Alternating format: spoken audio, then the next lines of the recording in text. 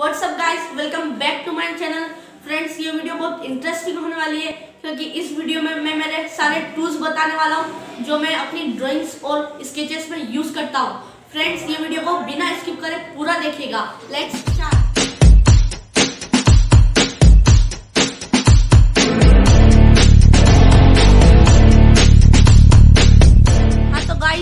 ये है मेरे सारे टूल्स जो अपने मैं अपनी स्केचेस में और ड्राइंग्स के अंदर यूज़ करता हूँ। तो फर्स्टली मैं फ्रेंड्स ये वाली शीट यूज़ करता हूँ कमीशन वर्क के लिए ए फोर साइज़ की आईवरी शीट इसकी क्वालिटी बहुत अच्छी है। और फ्रेंड्स इसके बाद मैं कुछ ड्राइंग बुक्स भी यूज़ करता हूँ। ये वाली फ्रेंड्स ये वाली ड्राइंग बुक भी यूज़ करता हूँ मैं।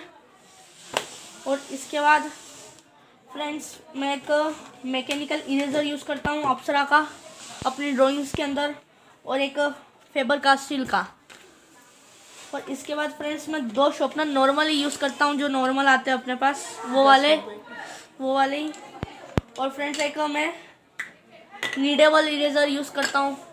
ये आप देख सकते हैं नीडेबल इरेज़र जो बहुत अच्छा काम आता है, जो एक रियलिस्टिक ड्राइंग के लिए बहुत यूज़फुल है। उसे रियलिस्टिक बनाने के लिए बहुत यूज़फुल रहता है। और इसके बाद फ्रेंड्स, मैं आर्ट लाइन की पेंसिल भी यूज़ करता हूँ और कैमलिन की भी करता हूँ और जो लाइट पेंसिल के लिए मैं अप्सरा की करता हूँ, टू एच पेंसिल। और फ्रेंड्स, ये कुछ कैमलिन की पेंसिल है जो मैं यूज़ करता हूँ। और फ्रेंड्स, मैं चारकोल पेंसिल में अप्सरा की और कैमलिन की यूज़ करता हूँ, फ्रेंड्स। ये देखिए, जो बहुत अच्छी रहती है, जिनसे अच्छी ड्राइंग्स बन सकती है। और मैं आपको भी आर्ट लाइन का बोलूँगा कि आप आर्ट लाइन की ही खरीदें अपनी ड्राइंग्स के लिए। और कुछ मैं चारकोल स्टिक यूज़ करता हूँ। और स्केच को स्केचिंग में ब्लेंडिंग के लिए मैं ब्लेंडिंग स्टम्प यूज़ करता हूँ। और ब्रश ब्रश यूज़ करता हूँ। ये ब्लेंडिंग स्टम्प मैंने घर पे ही बनाया और मैं अगली आने वाली वीडियो में मैं आपको बनाना भी सिखाऊँगा।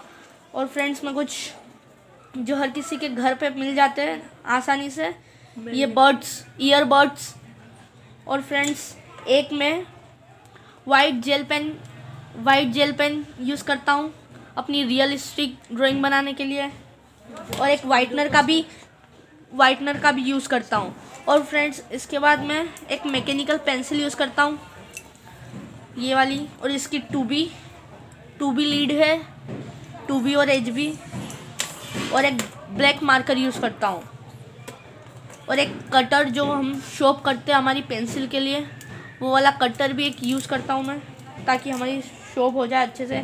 जो चारकोल पेंसिल है, उसे हम शॉप करके अच्छे से यूज़ कर सकते हैं। और एक सीज़र यूज़ करता हूँ। और फ्रेंड्स कुछ एच बी आउटलाइंस बनाने के लिए कुछ पेंसिल्स यूज़ करता हूँ मैं।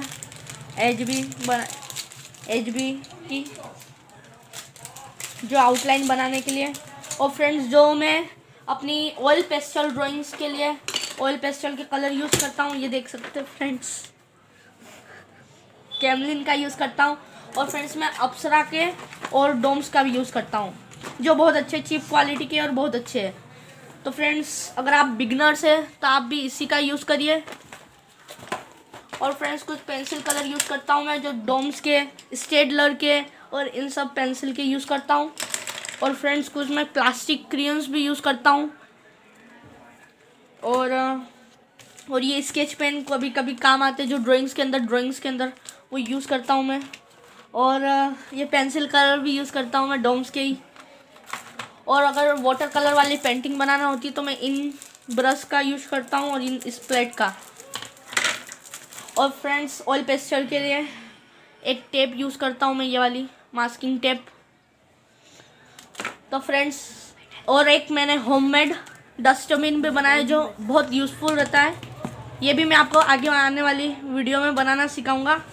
तो फ्रेंड्स ये वीडियो में, इस डस्टबिन में मैं मेरे सारे कचरा डालता हूँ जो हमारा पेंसिल का डस्ट होता है. और फ्रेंड्स मेडल जो है मैंने इंदौर में जीता था अपने आर्ट कॉम्पिटिशन में। तो गाइस मेरी वीडियो कैसी लगी आपको? अगर वीडियो अच्छी लगी हो तो लाइक करिएगा शेयर करिएगा और चैनल को सब्सक्राइब करना मत भूलिएगा। Thanks for watching